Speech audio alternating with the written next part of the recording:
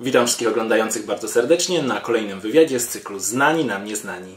Dziś moim gościem jest wokalistka Joanna Dark.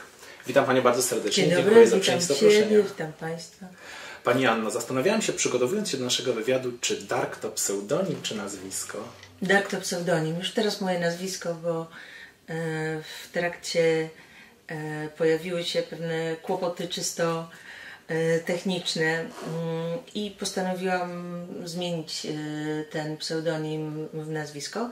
Funkcjonuje już teraz e, w dowodzie i w paszporcie, E, ale ten pseudonim wymyślił mój mąż. Mm, Kiedy odeszłam z musicalu Metro i zaczęłam taką solową karierę, to mąż wymyślił, że to będzie taki przewrotny żart. Ale skąd pomysł, dlaczego akurat Joanna Dark? E, Bo skojarzenia są jednoznaczne. Skojarzenia są jedno, jednoznaczne, ale pisownia jest inna, więc, e, więc e, to jest odmienne. Jestem ściśle mówiąc blondynką e, i ta, ta ciemność myślę na, za, na zasadzie takiego Kontrastu. kontrastu i żartu. No i to, to, to porównanie, ta, ta zbieżność imienia z nazwiskiem, ze słynną Joanną też wydawała nam się taka żartobliwa i przewrotna. Nie każdy to na początku pozytywnie odbierał. Spotykałam się z różnymi yy, Ale że to, że nie sytuacjami, wypada? Czy... że nie wypada, że przesada. Znaczy, my jesteśmy dość poważnym narodem i, i, i za poważnie odbieramy pewne Mhm. rzeczy, a nam chodziło Takim po robieniem się prostu- też trochę? no właśnie, i o żart, i o to, że no jest to nie, niesłychanie łatwe do zapamiętania. Mhm. I, I głównie o to chodziło. O żart i o zostawienie w pamięci. Mhm. Zanim jednak została Pani Joanną Dark, była Pani małą Joasią. Kim chciała być mała Joasia? Ym, no, tym kim jestem. Też wokalistką? Znaczy zawsze mała Jasia bardzo chciała śpiewać i, i, i po trosze jej się to udało. Ale to było tak, że brała udział Pani we wszelkiego rodzaju akademiach, jakichś przedstawieniach, jasełka dla rodziców. No dokładnie tak. I zamęczałam wszystkich swoim śpiewaniem. Mhm. E, Ale później to się tak przerodziło w bardzo fajną przygodę z teatrem. W Toruniu jest taka niezwykła, niezwykła instytucja, już można to nazwać instytucją, bo, bo od 72 roku prowadzi to e, jedna bardzo szlachetna postać, wspaniała, Lucyna Sowińska i Toruńskie Studio Poetyckie, w skrócie Studio P. Ja tam spędziłam 6,5 roku i, i, i tam odbył się taki mój cudowny warsztat i głosu, i, i można powiedzieć inteligencji, i rozwoju poprzez teatr, y, wszystkich takich skojarzonych z teatrem, śpiewem, sceną, wspaniałych umiejętności. To dlaczego po maturze zdecydowała się Pani studiować pedagogikę? Pedagogika to, to, to był taki mm, wybór, żeby coś robić. Ja się nie dostałam dwukrotnie do szkoły teatralnej i, i pomyślałam, że dam sobie już spokój, jak mnie nie chcą, to nie będę ich męczyć. No są aktorzy, którzy próbują po cztery, po pięć razy. i No właśnie, są, są bardziej cierpliwi, ja byłam niecierpliwa, ponieważ miałam gdzieś to śpiewanie e, schowane w kieszeni, więc e, śpiewałam sobie, ale wszyscy chcą studiować, więc ja chciałam, pomyślałam, że na pedagogice będę miała dużo wolnego czasu, co było prawdą. E, Więc studiowałam najpierw 3 lata na Uniwersytecie w Toruniu, a później przeniosłam się do Warszawy i skończyłam Uniwersytet Warszawski. Mhm. I jak Pani wspomina tę zmianę z Torunia do Warszawy? Płakało się nieraz. Płakało się, ale za domem? Tęskniło się za mamą, za domem, za, za spokojem, za cichym, mm, klimatycznym i, i spokojnym Toruniem. Ale z perspektywy uważam, że to była świetna decyzja. Ale tu chyba też w Warszawie są większe możliwości rozwoju. Znaczy myślę, że dla takich osób, które zajmują się tym, czym ja, e, to, to jest to właściwie naj, najważniejsze miasto w tym kraju. Mhm. No i w czasie studiów nie próżnowała Pani, bo oprócz studiowania też rozwijała Pani e, swoją karierę artystyczną e, i w czasach studenckich zdobyła Pani Grand Prix Festiwalu Piosenki Miłosnej w Poznaniu e, i później na debiutach opolskich została Pani też Miss Obiektywu, więc też nie tylko, nie tylko te, te stricte muzyczne nagrody, ale też różne około muzyczne, bo to przecież też się wizerunek wiąże nierozerwalnie z artystą. Jak Pani reagowała na te wyróżnienia?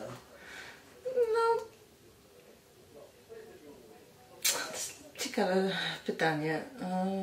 Znaczy, w tym zawodzie trzeba podejmować wyzwania. Znaczy pewnie w każdym, no ale w tym akurat takie. E, więc e, ja je podejmowałam. Myślę, że, że z czasów studiów dla mnie takie najważniejsze i najbardziej spektakularne to było e, wyróżnienie na festiwalu Młodzieży Akademickiej Fama. Mhm. Ja tam prezentowałam mm, mój recital songów Brechta, który nazywał się Mein lieber Brecht, Brecht, jak ktoś woli. I dostałam tam stypendium artystyczne i nagrodę za, za intrygującą osobowość mhm. artystyczną. I to było dla mnie bardzo cenne, bo w jury było parę wspaniałych osób. Yy, I, I grywałam to. Mam nawet taki fajny zapis wideo. Jest, na mojej, jest fragment na mojej stronie internetowej. Bardzo to wspaniale yy, wspominam, bo to łączyło jakby to, co mnie interesowało, teatr z piosenką. Yy, potem odeszłam od, od takich połączeń na, na rzecz bardziej takich rockowo, popowo, a teraz jazzowych klimatów. E, także troszkę ten repertuar się po drodze zmieniał. Mhm. Ale rozumiem, że sukcesy uskrzydlały Panią i... No na pewno trzeba mieć e, twarde serce w mhm. tym zawodzie, bo e, bywały i sukcesy i, i, porażki. Myślę, że bez tego się nie Właśnie nie tylko chyba twarde serce, ale chyba też twardy tyłek. Czy Pani doświadczyła jakichś takich e, bardzo mocnych... Ciągle się doświadcza. Mhm. W końcu no, jesteśmy bardzo narażeni na, na ocenę, no ale wchodząc w to musimy być tego świadomi, więc Nieraz doświadczyłam jakichś tam smutków czy, czy bolesnych porażek. Mm, trzeba mieć świadomość chyba, że albo się w to brnie idzie dalej, albo no, popłaczemy się i pójdziemy z zabawkami do domu. No. Mhm. Gdzieś to taki czek jest już dorosły, no, ma paszport i, i, i dowód i musi brać odpowiedzialność za to, w co wchodzi. No. Tak sobie myślę i to tak teraz właściwie powiedziałam a propos różnych wydarzeń, które akurat odbywają się. E, mam na myśli tabloidy i, mhm. to, jak dotykają one znane osoby. No, trudno, no, wchodzimy w to i, i już. No. Drogę w jedną stronę trochę. No, bierzemy odpowiedzialność za to, co się dzieje. Oczywiście możemy mówić, że to jest lepsze czy gorsze, że powinno być lepiej, no ale świat tabloidów jest właśnie taki, chyba nigdy nie będzie inny. Mhm. No i w pewnym momencie zdecydowała się Pani o tym, że wyjeżdża Pani do Stanów. Znaczy ja się w ogóle nie zdecydowałam, ja po prostu z musicalem Metro pojechałam do mhm. Stanów. E, to była jakaś taka, no bez pytania po prostu. Mhm. Byłam dwa lata w musicalu Metro, w pierwszym składzie, tym właśnie tak nazywanym szumnie broadwayowskim. A jak to się stało w ogóle, że trafiła Pani do tego składu? Ja kończyłam właśnie studia i... Tę pedagogikę. Tę pedagogikę. Mhm. Byłam w trakcie pisania pracy magisterskiej i przeczytałam w kasecie wyborczej ogłoszenie. I poszłam. Mhm. No i zostałam na dwa lata i e, jak Pani przeżyłam tę przygodę? Znaczy, to chyba była największa przygoda w moim życiu. E, przygoda no, z niezwykle ciekawym towarzystwem, wspaniałych, niezwykłych, utalentowanych i zwariowanych osób. E, przy okazji niezwykli pedagodzy. Ja zawsze uważam, że to była moja szkoła teatralna. Mhm. Najpierw. Ta w praktyce. Ta w praktyce, tak. Najpierw y, troszkę studia poetyckiego, a później metro. No myśmy odbyli no, potężną dawkę warsztatową, zanim jednak ten spektakl powstał, z bardzo wybitnymi pedagogami. E, I dostaliśmy nieźle w tyłek, także naprawdę mm, szapoba dla tego, mhm. cośmy się tam nauczyli. Ja zagrałam w 500 e, spektaklach metra. Sporo. Sporo, ale są tacy, którzy zagra, zagrali tysiąc. E, jest takich parę osób. E, I stwierdziłam, że wystarczy. To znaczy, ja się już dusiłam tam i no mimo, właśnie, że było czasem... fantastycznie, ale. Zastanawiam się, czy to nie jest czasem tak, że jak się gra ileś razy to samo, to popada tak, się, się w pewnym śniło. sensie ja wstawałam w rutynę i... już nie jest to takie artystyczne, jak było na początku. Um, no nie jest, no, no na pewno. No. Wydaje mi się, że gdy 500 raz e, próbuje się wyzwolić na scenie takie same emocje, no to to znaczy, już nie jest to samo, co było na pewnie początku. należałoby zapytać takich aktorów, e, którzy, nie wiem, no, pracują na dużo większych emocjach, to znaczy na, takim mhm. materiale bardzo dramatycznym, nie wiem, zagrać Medę 100 razy. Mhm. Szaleństwo. E, A to jednak jest rozrywka, muzyka, więc też troszkę mm, inaczej to myślę funkcjonuje, ale to naprawdę tak było, że, że kładłam się spać i śniło mi się metro, więc y, powiedziałam sobie, że basta. Byłam bardzo zmęczona, to prawda. A poza tym no, miałam takie marzenia, żeby też realizować siebie jakoś indywidualnie. A nie w zespole. Gdzie A nie w zespole. się. Chociaż y, prawda jest taka, że, że mm, w zespole wszystko, jakby ta cała odpowiedzialność roz, rozbija się na poszczególne osoby i nawet jak się No tak, zbiera jaką, jakąś krytykę, no to nie dostaje się tak mocno indywidualnie Mhm. po głowie. Ale z drugiej strony, jak się jest w drugiej czy w trzeciej linii, to nigdy tego takiego pełnego spełnienia chyba, chyba się nie osiągnie. No tak, no to jest zupełnie inaczej, no, jak się współtworzy coś, a jak się samemu odpowiada Mhm. za to. A inaczej metro grało się w Polsce, inaczej w Stanach? Myśleliśmy, że to będzie tak, że jak zagramy w Stanach, to yy, będą łagodne oklaski i ludzie pójdą do domu. A to metro naprawdę się w Stanach podobało. Naprawdę tak myśmy byli rozpieszczeni tutaj w Polsce, bo każdy spektakl y, kończyły stojące długie owacje i, i kilkukrotne odśpiewanie. Pierwszy polski taki musical. E, tak, przez nas e, wieży Babel słynnej. Ale naprawdę w Stanach te 6 tygodni takiego czynnego grania, co, co wieczór z przerwą tam jednego dnia, myśmy jednak grali w Stanach przez 6 tygodni 10 spektakli w tygodniu. To naprawdę za każdym razem ludzie wstawali. To było super miłe. O, Rzadko kto o tym wie, bo myśmy przecież wrócili jako pokonani stamtąd i, i niewiele żeśmy y, o tej przygodzie tam na Broadwayu opowiadali. Mm, A to przedstawienie naprawdę się podobało. Y, Ja gdziekolwiek bym nie była, y, nawet w dolnej części Manhattanu, daleko poza Broadwayem, to mnie zaczepiali ludzie i dziękowali. Także na ten spektakl naprawdę chodzili Amerykanie. Nie Polonia, Amerykanie. Nie myślała Pani, żeby może zostać i tam kontynuować swoją karierę? E, myślałam, miałam takie plany, ale tak się ułożyło moje życie prywatne, że wróciłam. Mm, Nie żałuje Pani? Nie, nie żałuję, bo ja jestem w bardzo szczęśliwym związku od lat i to jest bardzo cenne. Mm, Natomiast zawsze gdzieś tam Co by myślę, gdyby? co by było, gdybym ja została w Nowym Jorku. Zwłaszcza, że spotkałam mnie po premierze y, naszej na, podczas bankietu. Bardzo miła rozmowa z panią Brzezińską, żoną pana Zbigniewa Brzezińskiego, która mnie zaprosiła do rozmowy i powiedziała mi, że pani tu zrobić big success. jestem wymarzoną osobą na Amerykę. Mhm. Nie została Pani jednak w Ameryce, wróciła Pani do Polski i tutaj pojawiła się kolejna pasja, moda. E, śpiewała Pani m.in. na, na pokazach Jerzego Antkowiaka. Jak to się stało, że ta moda wkradła się do Pani życia? Czy ona była E, zawsze, a tu się bardziej uwidoczniła, czy to jakaś nowa pasja się pojawiła? Mm, To był zupełny przypadek. E, Wspaniała e, kostiumolog Ewa Krause zaprowadziła mnie do Jerzego Antkowiaka, do mody polskiej, bo stwierdziła, że absolutnie powinnam się tam znaleźć. Tak poznałam Jerzego Antkowiaka. Jerzy Antkowiak to jest człowiek no, wybitny. To jest, to jest artysta w pełnym tego słowa znaczeniu. Oczywiście zaraz przebrał mnie jako Marlenę Dietrich i, kazał śpiewać y, jej piosenki.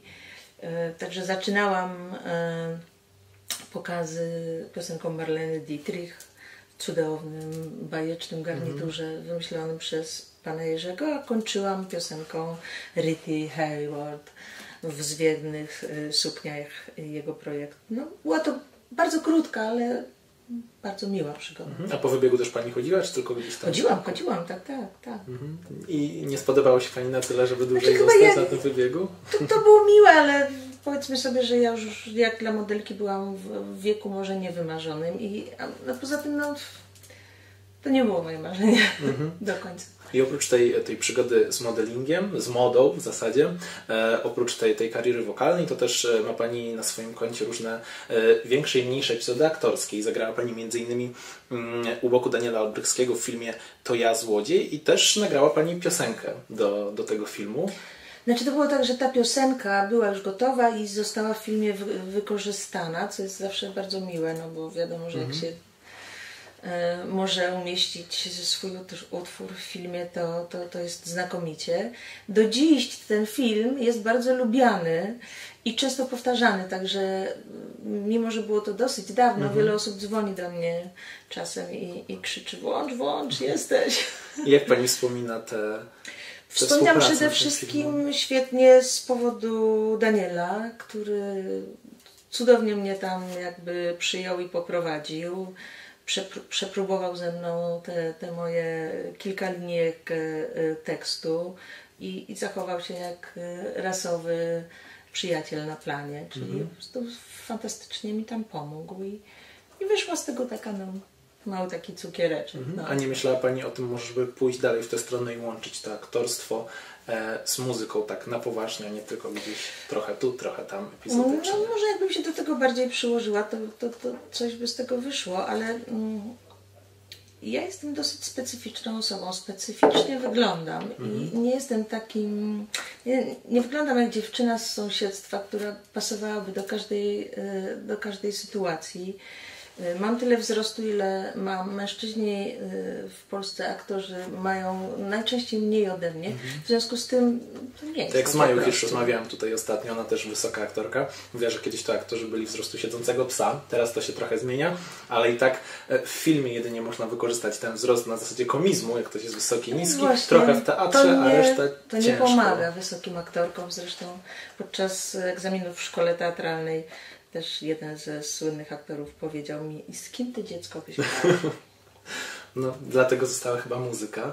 E, jak Pani wspomina pracę nad swoją pierwszą płytą? Bo wydaje mi się, że pierwsza płyta to jest takie, takie pierwsze dziecko, z którym dzielimy się ze światem no, i, i wiąże się jakieś... Spełnianie marzeń. Tak, tak, wspomnienia, więc pytam o te wspomnienia związane z pierwszą płytą. E, kiedy nagrywałam pierwszą płytę, to, to, to było tuż niedługo po tym, jak rozstałam się z metrem. Byłam naładowana bardzo, bardzo, bardzo intensywnie taką powiedziałabym, ja wiem, rockową energią. Marzyłam się płyta na poziomie y, Tiny Turner. Ja mhm. myślę, że gdzieś nagrywając pierwszą płytę zawsze spełniam jakieś takie marzenia. Ach, jak ja lubię piosenki Tiny Turner, najlepiej bym nagrała taką płytę. Mhm.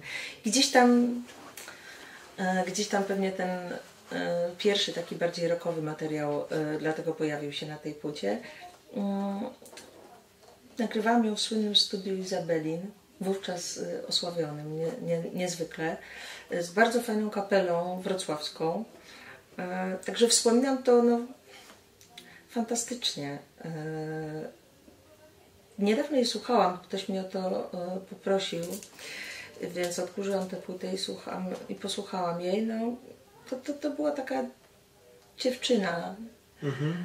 bardzo silna, bardzo intensywna i bardzo odważna. Mhm. A już wtedy Pani wiedziała, w którą stronę chce iść Pani muzycznie, czy to, było, to był etap poszukiwania? Nie, to było takie palcowanie. Mhm. A kiedy to się wyklarowało? To się nigdy nie wyklarowuje, mhm. no bo ja myślę, że na, na płytę nagrywa nie, nie przede wszystkim wokalistka, ale myślę, że przede wszystkim człowiek, czyli że gdzieś jesteśmy w jakimś momencie życia, przynajmniej u mnie to tak jest. I ta płyta jest właśnie taka jak ten moment życia. Czyli tamta była właśnie taka drapieżna, bo ja byłam wtedy taka. Mhm. Następna była bardzo wyciszona, bo byłam tuż po urodzeniu dziecka, a kolejna, czyli właśnie ta, to, to było takie spełnienie y, marzeń y, jazzowych i ona jest właśnie taka stricte jazzowa i też wynika z pewnych sytuacji. Akurat y, poznałam wcześniej sekcję jazzową Andrzeja Kurlewicza, czyli Pawła Pańtę i Czarka Konrada miałam takie szczęście y, śpiewać z Andrzejem Kurlewiczem. Miałam nawet pomysł na płytę, ale Andrzej odszedł. Także też jest przestroga dla wszystkich, którzy mają jakieś pomysły i ich od razu nie realizują. To jest błąd. Trzeba od razu wszystko, co do głowy przychodzi, realizować, bo potem może być za późno. I ponieważ mój y, dobry kolega z Torunia, Bogdan Hołownia, z którym od lat gram, y, i z którym różne piosenki, które są tutaj na tej płycie, też grywaliśmy. Raz zagraliśmy taki bardzo miły koncert w Toruniu i stwierdziłam z tym składem, że to jest po prostu wymarzony skład na tego mhm. typu materiał. No, pojawił się y, ktoś, kto mnie wspomógł y, finansowo, bo wiadomo, że każda taka płyta to jest, to jest walka o pieniądze, w związku z tym pojawił się ktoś. No, to, to jest zabawka. No. Nagrywanie płyt to jest y, sama przyjemność. Jeśli są na to pieniądze, to to jest no, spełnianie marzeń. Mhm, ale zdaje się też, że Seweryn Krajewski gdzieś się przemknął też przez No, płytę. Seweryn K- Krajewski y, to, to była jedyna nowa piosenka na tej płycie. Mm, Tekst napisał mój mąż Marek Dudkiewicz, a muzykę Seweryn Krajewski i y, tak ona dostała ten tytuł Bar Nostalgia. Mhm. A dlaczego akurat Barnostalgia? Bo to są same stare numery, same evergreeny, same moje ukochane piosenki, śpiewane w czterech językach, po polsku, angielsku, hiszpańsku i niemiecku. Yy, A bar nostalgia, no bo to jest materiał, który jest niemodny, który, po który rzadko kto sięga, który kojarzy się bardziej z pokoleniami, ja wiem, dwa, dwa pokolenia do tyłu, a który ja bardzo lubię, no bo ja jestem taka troszkę niemodna. Mhm. Mówi Pani, że jest Pani niemodna, że, e, że, że muzyka już jest taka trochę niemodna, ta, którą Pani nagrała, ale sesja, która towarzyszy, która towarzyszy płycie jest bardzo modna i modowa, bym powiedział. Skąd taki pomysł, żeby pójść To troszkę tak y, wymyśliliśmy z firmą Magic Records Universal Polska, która wydawała tę płytę, na zasadzie takiego kontrastu. Kontrastu. Chcieliśmy, żeby to właśnie y, nie było takie totalnie old fashion, tylko żeby okładka właśnie była nowoczesna i stąd y, pomysł na tę sesję, żeby ona była taka jak, y, jak w magazynach modowych współczesnych. No. Czyli te pasje Wyszło. modowe, które były kiedyś, ta moda polska kiedyś, to dalej jednak koło tej mody gdzieś tam Pani jest. Znaczy, myślę, że z teatru trochę się wywodzi taki punkt widzenia, żeby coś miało formę i styl. I, i, i jak gdzieś staram się, żeby to tak było. Mhm. A jakie plany na najbliższą przyszłość? Yy, No, plany takie, żeby zdobyć pieniądze na nagranie płyty. Takie marzenie. No bo ta to już 4 lata temu. Dokładnie. Myślę, że jesienią uda mi się nagrać płytę taką, tym bardziej, że mm, teraz przygotow- przygotowuję materiał taki rodzinny dla dzieci i rodziców. Mm, Będzie to materiał z piosenkami rodzinnymi y, naszych y, babci i dziadków, Mhm. ale na jazzowo. Na jazzowo, czyli dalej stylistyka. No, nie stylistyka już Majki z, ta, Jeżowskiej. z taką, o, nie, Nie. Jak się już y, raz y, weszło do studia z tymi muzykami, to Mhm. Nie chce się chce się zrobić to znowu. Pani Joanno, ja w takim razie życzę, żeby ten projekt się udał, żeby wszystkie kolejne projekty też się udawały, no i dalszego rozwijania się i wokalnego, i tego teatralnego, modowego. Bardzo dziękuję. Rozwijam się wokalnie, bo właśnie jestem na studiach podyplomowych. O, Kształcenie głosu i mowy. Także Mhm. myślę, że po prostu pracą y, też się zajmę taką pedagogiczną. Czyli czyli pedagogika to nie się pójdzie na przyda, marne. tak. To życzę tego, żeby, e, żeby wszystko szło po Pani myśli, żeby udało Ja się panu spełniać marzenia. Bardzo Dziękuję za Bardzo dziękuję za rozmowę. Dziękuję. A Państwu dziękuję za uwagę. Do zobaczenia już wkrótce podczas kolejnego wywiadu.